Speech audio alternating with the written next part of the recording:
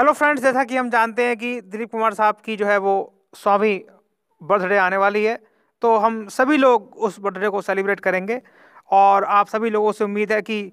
इस वीडियो को शेयर करें और प्रे करें कि जल्द से जल्द वो टाइम आए और हम लोग स्वामी वर्षगांठ को सेलिब्रेट करें। Thank you